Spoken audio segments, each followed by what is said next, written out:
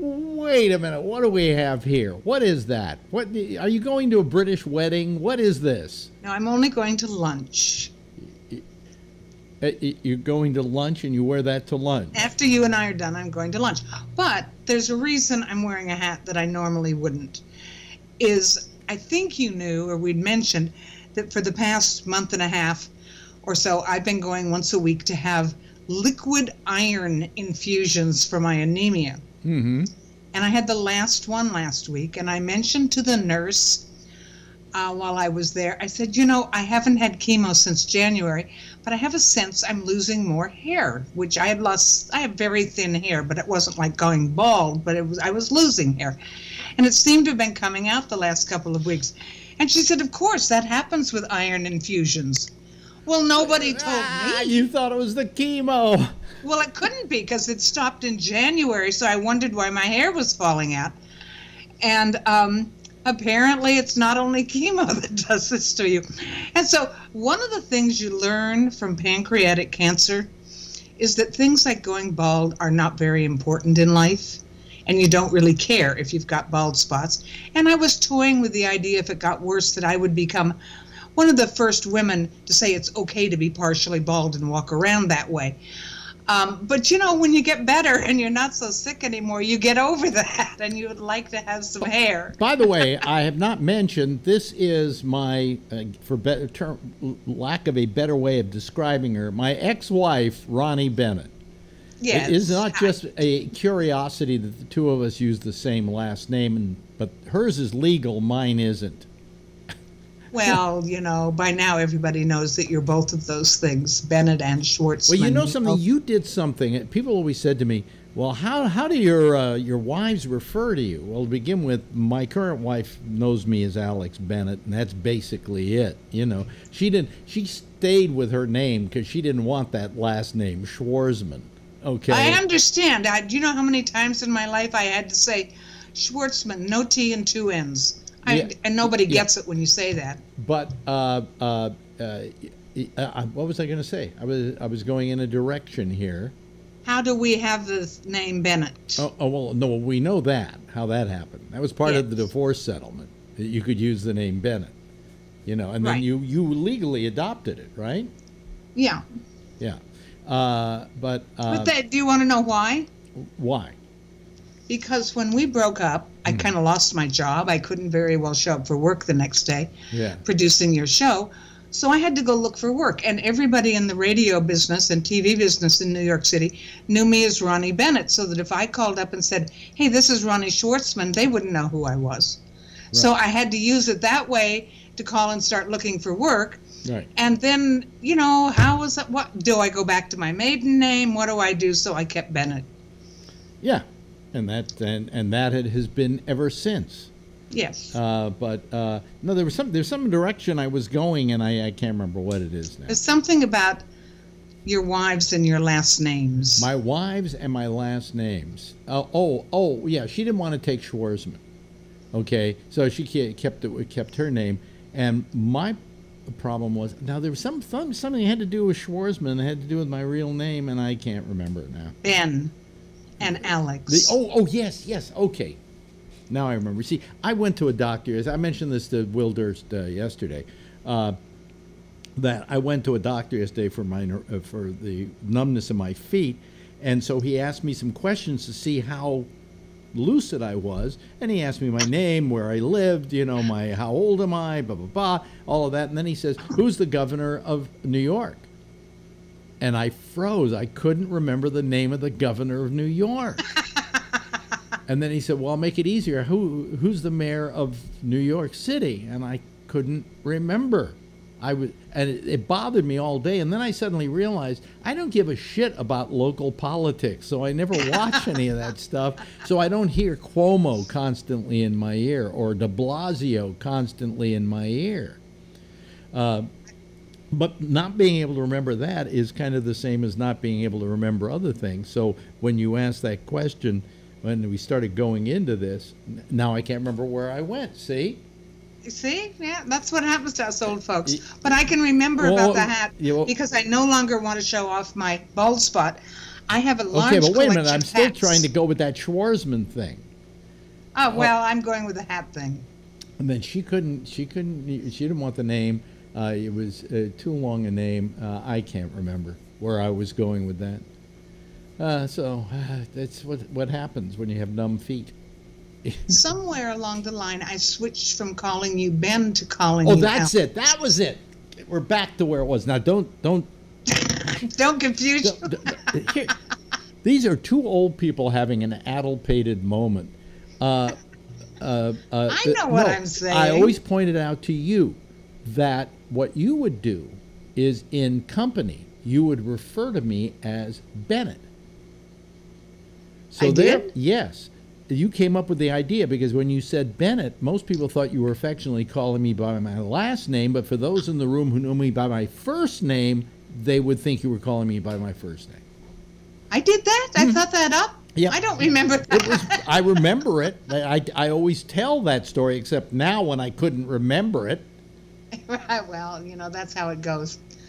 So anyway, I'm hiding my bald spot again Yeah. because, um, you know, I'm feeling better, a lot better. I feel really good, and I wish I had more hair, and I don't want to show off my bald spot. I wish I didn't care about my bald spot, Could- which when could- I was still really sick, Since I we, didn't care. Since we have video here, would you like to show it to us? Show what? The bald spot. No. Oh, okay. All right. You know, you're the one who goes is get older, get used to it, be embrace I- it. You I know, didn't and say I am without and, and and I'm the first one to say embrace your baldness. Well, you know, I do have my contradictions. I wish it were different, Yeah, yeah. but I do have well, my wife's hair is thinning out a bit, you know, and she's not taking iron. You know, I seem to know a lot of women friends that have a lot of hair. Really Oh, irritates me. Well, I mean, she has a lot of hair, but it is thinning, and your hair does get thin. You know. oh, the hairs, individual hairs get thinner too. Yeah. And you know, and my hair had been thinning without chemo and without iron. So yeah, but I got to read you something very funny. Yeah. I wrote about, um, you know, I, I wrote about the iron on my blog, the iron infusions, and I have the most wonderful readers who leave comments. One of them, whose name I can't remember, I got to read this to you, uh, left a comment about the iron infusions. Uh, she said, on the plus side of your week long iron infusions, you can now take all your refrigerator magnets and stick them on yourself. thereby freeing up the fridge for that ever present and so important to do list. so I could put them all over me. Oh boy. Pretty funny, pretty funny. Um, uh, there, there's some good news. What's the good news? Uh, did I tell you about this lump I have over here? Oh yeah, you told me about that lump, and I read on your uh, blog about it. But go ahead and tell them. Yes, and so you know it's been there for more than a decade, just sitting there doing nothing, and Yeah. then suddenly it gets bigger at the end of the day now. So a week ago, I had a biopsy. They stick needles in there and take Yeah. out cells, and I had to wait until Friday, and it came back benign. So great relief. Yeah. There's yeah. even a name for it, and we'll figure out what It's we're going called to do. lump about it. on the side of the neck. Yes, but you know the thing is, once you've had cancer, everything that goes wrong in your life you think is cancer. Oh yeah, yeah. Uh, uh, uh, uh, uh, let me just turn your mic down for a second because we get what we call slapback. Now it's okay. Okay, fine. Anyway, um, uh, I, um, uh, you know, I, I keep as I was. I, I said this to to Will yesterday as well. Uh, that I keep waiting for the thing where I go in and I say I've got this little my my toe is twitching and they go oh that's very bad and it's cancer and it's going to kill you right I'm, I'm waiting for that doctor right Yeah. so every time I have uh, a new doctor to go to like I went to this neurologist I'm figuring now the numb feet it means I've got some kind of a heart problem whatever no he says it's a kind of a spinal stenosis and you need to have physical therapy That's good. Uh, That's good, yeah. Um, go get a massage once every week or something. But you know what happened with me? Now tell me this, because you only you would remember. Did I have hair on my legs? I don't remember. I have no idea. Well, I don't have hair on my legs anymore. Well, you know, I'll tell And you under that. my armpits, I hardly have any hair left. yes, that's happened to me too. You don't have any hair on your head either. What did you expect the rest of your body? Well, uh, uh, this is different than this and the armpits. how? Well, to How it begin with. I was counting on take surgically taking the hair from my armpits and putting it on my head. but, oh, you, know. thought that was going to work. Ah, yeah. Well, But no, I, I what I understood was you bald, well, you gray from the to, uh, from the bottom up. Is it? I I think your beard. If you have a beard, you'll go gray first in your beard before your hair goes gray. that, that most guys when they still have regular, you know, brown or black or whatever they have, Yeah. when they still have that on their head, they they if they have chin whiskers, they go gray first. You've Yeah. seen that. Yeah, but but anyway, I, I I don't have hair on my body anymore. I mean, I have some on my a little bit on my chest, little bit, but they're flimsy. Yeah, well, it's one more thing they don't tell you about about growing old. You lose everything. You- Yes, I have less hair on my legs too. I don't have to shave them as frequently. Yeah, yeah. Uh, I, I think my wife said she's having the same problem. God, getting old sucks. I don't care what you write in your blog. It sucks. Yeah, well, if you can't change it, are you going to sit around and lament? No, no, absolutely not. Uh, but I should go out and kick my heels up, only I don't have the strength. So, uh, I, isn't it a wonderful, given all, everything that's wrong in the world, isn't the story of the soccer team all being rescued wonderful? yes, except for the fact that I tried to get news on it today, and when we're recording this is the Oh, day and you've got Trump instead. we got Trump with his fucking, you know, Supreme Court justice, and I don't give Right. a shit about that. You know, Yeah. I really don't. Uh, But, well, I mean, it, it looked like it looked so impossible from the drawings of the mountain that they're stuck in and the river in there, and they don't know how to swim. And I mean, they're they're they're young, they're little kids, yeah. and uh, and they did it. They did it. You know, there was one um, Thai Navy SEAL who died, Yeah. uh, which is really terrible. But but the kids and the coach all got out. It's just in in the world we live in, that is such great news. Yeah. No, it, it, it is absolutely wonderful, you know, that, that they, they managed to get them out. And I wanted to see that story. And all I'm getting are stories about this fucking Supreme Court nominee with the bad skin. You know? Oh God! Did you have to go that far? I mean, Durst wanted to keep joking about the fact that his name is Brett. you know, imagine. hey, hey, hey! What? My surgeon, who is the whole reason I'm still alive, his name is Brett. Well, then I won't diss the name Brett then. so Just Durst and I in private moments will do it, not in front of you. Uh, but uh, anyway, you you look healthy as hell. I mean, except for that schmata you're wearing on your head. Oh, it look at it! It's a beautiful hat. What's wrong Why with Why did you hat? wear a babushka? I think that would go good on you. a what? A babushka, you know, the the handkerchief around the head. I do that when I'm cleaning house. I'll wear it next time. Oh, really? Okay. I mean, Yeah. how big? How big is the bald spot? I mean, is it? Well, it's not completely bald. It's just so thin you can see my my scalp through it. There's Oh. no way to not see my scalp. I see. Could, And it's back here in the back, and it's getting much thinner in the front now too. now, how long do they keep doing these iron infusions? Oh, I'm done. I had six. I'm done. Okay, so will the hair grow back now? Uh, questionable. Nobody. I, I think the answer is no, and they didn't want to tell me. Well, you, you know, it's funny. I, I, you know, you, you want a little better answer than that. Here's here's the point I'm making. Well, like yesterday when I went to this doctor for the for what we thought was neuropathy, but he has said it's not neuropathy. Okay, the numbness in the feet. And he says it happens when you lie down because you're hitting a nerve, and the nerve is causing it to exacerbate and whatever. He said, I don't know, but I've heard some people say that putting a pillow between your legs will help. Well, it doesn't help me. But the, uh, the fact was that he said to me, Some people have told me that putting a pillow between your legs. You're a neurologist for crying out loud. You'd have a little better scientific description of this thing than some friends told me put a pillow between your legs. There's a whole lot medical people don't know. They do the best they can. No.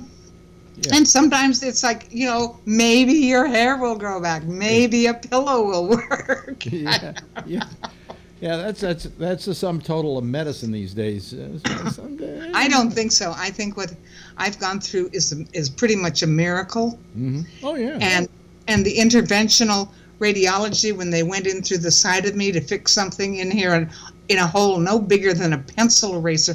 I think that's a modern miracle. You Yeah. know, and that it works. yeah. Are, are you used to operations now? Oh God, yes. I know my way around that hospital so well. I mean, to go okay, just to put the juice in me. Let's get this thing over with. exactly.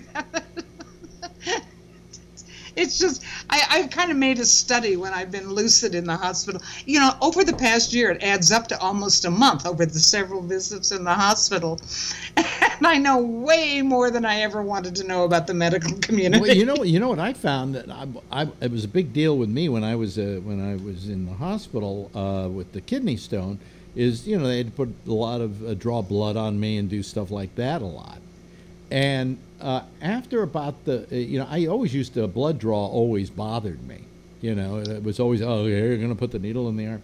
By the time I was through that hospital stay, they stick needles in my arm and I just go, go ahead, hey, take Me it. too. I just I lay go, out my "Oh, arm. By the way, I say ahead. take it out of my hand because they have a hard time finding a vein in my right where they normally go. So I said, just take it out of my hand here because you can see the veins there. And they go, really? You don't mind it? I said, I mind it there more than you stabbing me twenty times trying to find a vein. You know. Uh, It's but- amazing what you can get used to in old age. Yeah, well, I mean, what I'm saying is, uh, you've kind of probably gotten used to the fact. Well, I got to go in for a little operation today. You know. Yeah. Well, that's when I think about this. You know, there may be reasons to remove this lump, and maybe there are reasons not to remove it, and we'll figure that out. But I realize that compared to what I went through last year, go ahead. They should, they should replace your face and body in the operation game. Is what they should do. You know the operation game. Where did you ever play that as a kid?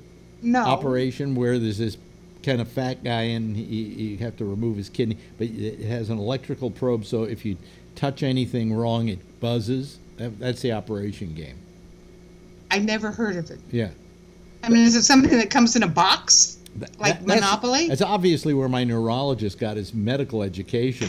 Oh, come on now, come on. That's not with, nice. with the put the pillows between the legs.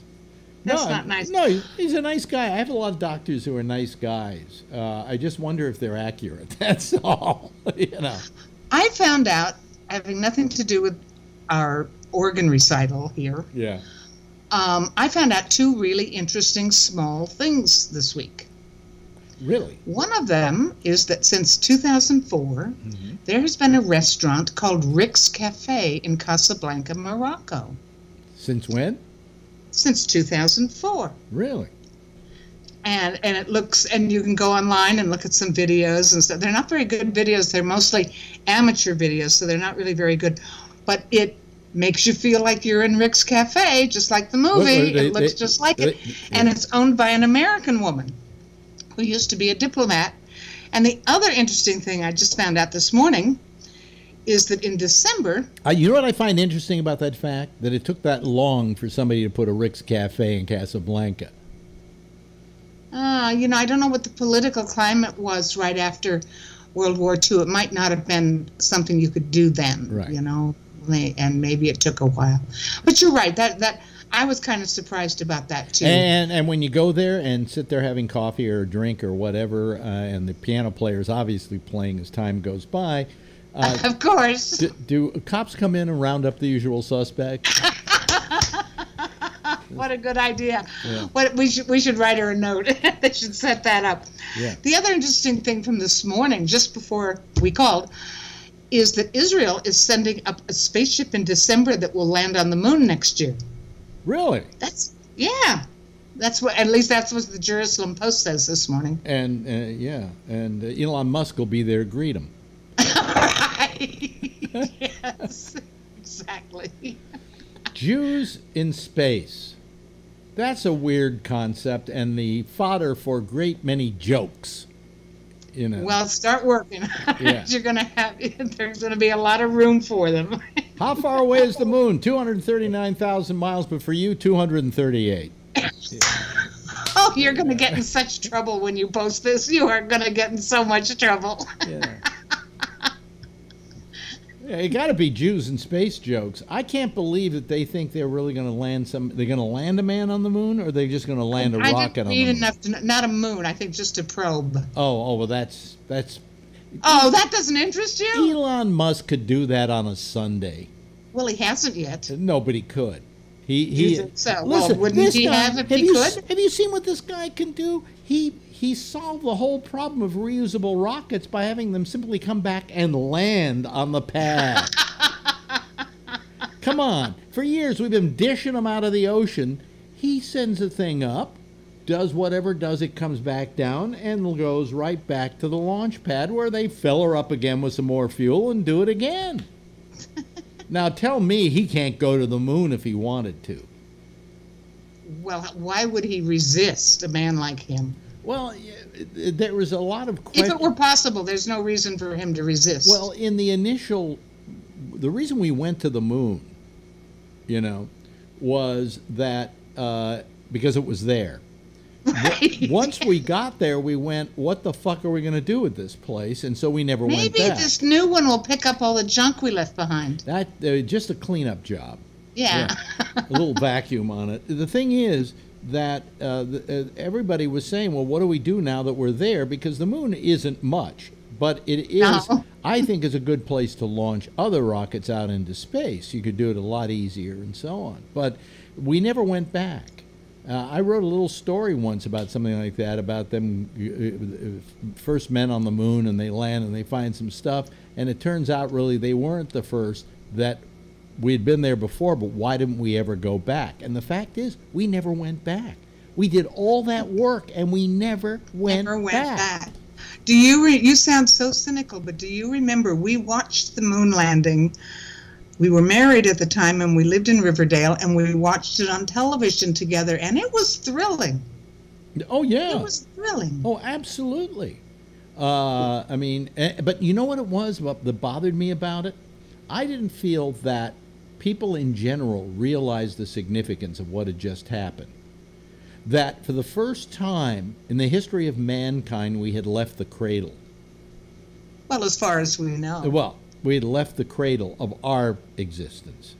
And uh, the, I don't think it, it, it was lost on people. They were all going, Why are we spending money to do that? When blah, blah, I don't blah." think there were lots of people saying that. I think it was thrilling and I think most people saw it that way. No, we, we had a, a internet. We had a, um, American thing. USA, USA. We're there first. You know that kind of thing. You know, before we sent people to the moon, we sent probes to the moon, and they sent pictures back. And I remember before the person landing on the moon, uh, there was a big deal that uh, in in a previous probe probe that um, that it would go behind the moon, and for the first time we would see the opposite side of the moon because it always has only Mm-hmm. Right, one the face dark side of the moon. toward us. Right. And was a there was a New Yorker cartoon that I saved for years and years leading up to that. That it showed the, the spaceship coming toward the moon, the backside of the moon, Yeah. and it was carved out, you know, so concave, like a like a a theater set, and it said Act Two, Scene One. I saved that for years and years and years. Yeah, uh, but uh, I, I, uh, you know, I, I just, I just wish we had. I- I guess if I have any regrets in my life, it's that we You didn't. didn't go to the moon. They didn't select you. No, we didn't go. We didn't go further. Uh, the fact is, if we we stopped the space program then, and the only space program we had was what I called NASA hauling. You know, it was just NASA was hauling We stuff went to up. Mars, Yeah, but we sent probes. I mean, sending people. but there were great Well, I- photographs, and they, got a if, lot if of they had con- if, if they had continued on the path that they were going, and not stopped that that space program, the really uh, the the exploration part of the space program, uh, we could have been to Mars in my lifetime. But I don't know. but we're not. I, I'm not smart enough to know what the problems are. You know, Yeah. Well, I I that, I mean, that, it can't it can't be. Oh, I that, that was my somewhere- bailiwick because when I was a kid, I wanted to be an astronaut, and there was no such thing as an astronaut when I wanted to be one. So how did you know?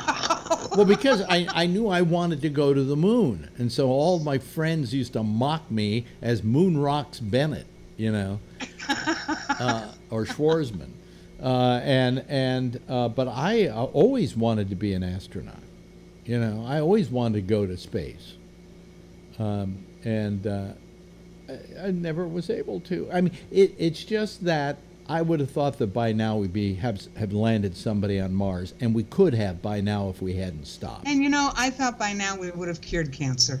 I mean, it's, you know, it's harder Well- than us laymen think. I didn't. In your these case, things. in your case, they came close. You know. Well, I mean, but in general, it should be like the common cold. I thought by the time I was this old, we could treat it the same way as the common cold or the flu or something.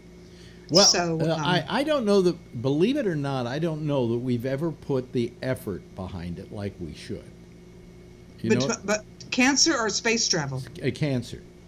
That if we ha- had a concerted effort and said we're going to spend a large amount of money and we're going to do it like we did with space, okay, Mm-hmm. I think we could have solved it.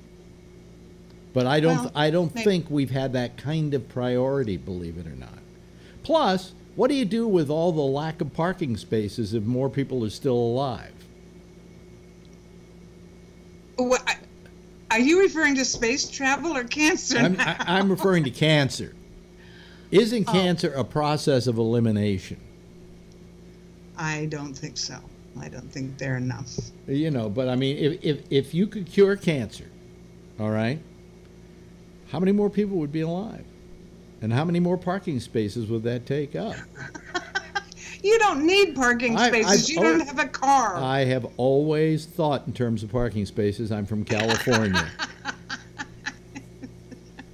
and I hear there are not enough parking spaces in San Francisco anymore. So that's because we've cured a lot of these diseases. right. Look, right. I, yes, I figure at, at, at 78, going on 79, I'm take I'm, I'm taking up too much room myself. You know, I sometimes feel guilty about that. Uh, Sunday, I went to a birthday party for my friend Jack Garfein, who turned 88. Ah, Boy, is that old. my friend Millie is in the hospital this week. She's going to be 93 pretty soon. Here's the best part. He was there, and if people go on my Facebook page, I posted the speech he gave, which is about 13 minutes. And you can see in the same shot another guy. And that's one of his friends who was also in the concentration camps. They didn't know each other from the concentration camps, they met each other afterwards. But this other guy, I have never seen, he's got to be maybe in his 80s.